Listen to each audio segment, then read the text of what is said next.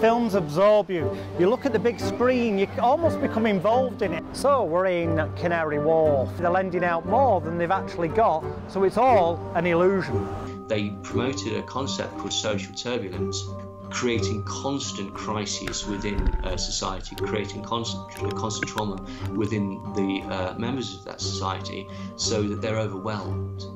If you give them the illusion of choice, they think they're living in a freedom world. The London HQ for Rupert Murdoch's media publication. But then it was suggested that they get some cocaine for him or, or something. Is do not, do not roll out 5G until we understand these uh, mechanisms. The British Brainwashing Corporation. It's covered by a royal charter here in England, which means that it's supposed to be impartial in things like politics. Make America great again. What is America? What is America? Is it a corporation? Is it California? Is it New York?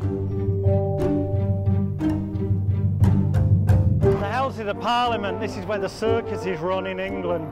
Religions are like everything else, a control system to make you do what other people want you to do. It always tends to be the musicians, giving it the eye symbols, giving it the Illuminati symbols in videos and stuff like that.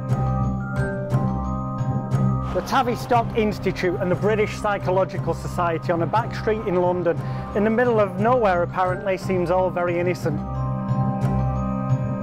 Escapism from everyday life, just like the television in the corner of your room, because they've been brainwashed.